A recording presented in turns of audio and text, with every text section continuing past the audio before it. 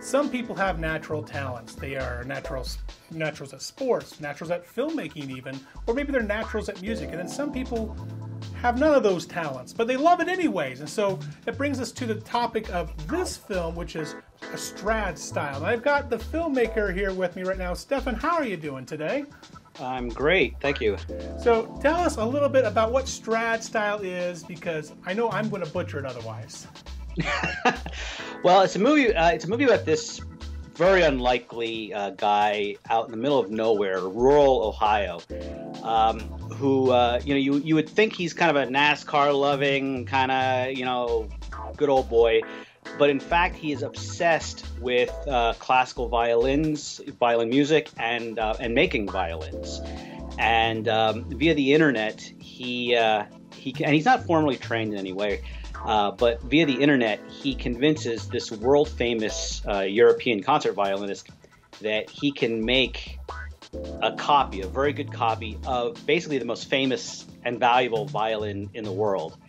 Um, and uh, and then the, this movie follows his trials and travails as he attempts to do this. Uh, yeah, as they say, and then the plot thickens, or, or then you know uh, the story is really interesting. Now, now what I noticed when I was watching this film is at the beginning you're just like, this guy's nuts. This guy's absolutely nuts. Tell me about this journey that you went on making this film.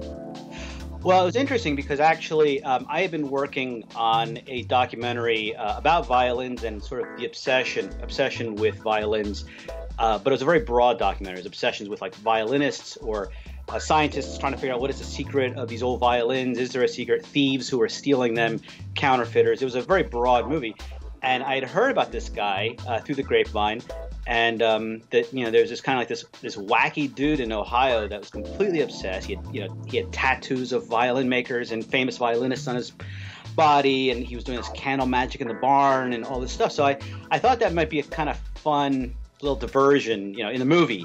Uh, uh, so I when I, when I trekked out there, like I said, the middle of nowhere. When I went out there, you know, and interviewed him for a half hour or so, I realized, okay, I, I got to just put this other movie aside. this guy is the movie. Um, because he's just so entertaining. He's so unexpected, you know, not what what I expected at all. And he's also really smart, very funny. Um, I mean, the first impression is this guy is crazy, uh, and indeed he is. But but he's also uh, quite a talent. He, he is an amazing talent, uh, and he's very entertaining. He's funny, and, and so he made for an amazing subject, and also just just this complete fish out of water sort of guy. So uh, that was that was my intrigue. Well, now the film is playing uh, Slamdance. I believe it's on Saturday, the 21st. Can you tell us a bit when all the screenings are, where they are? Are you going to be there? All the good, juicy information.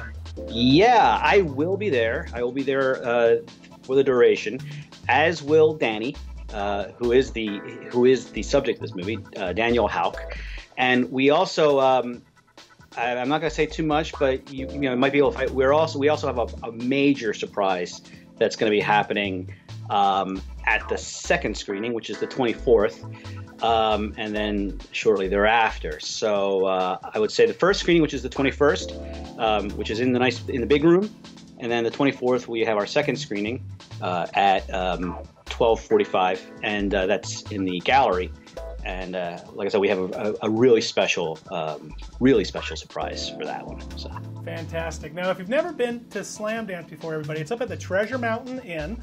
Uh, the big room is the one that you go in right through the lobby. It's straight across the, from the lobby, and then the gallery is just down the hall and then to your left. So it's all really close together. You're not trekking all over the place to go see a film, and you get to be inside where it's warm, where everyone else has to be freezing outside. So it's a really good thing to go to Slamdance.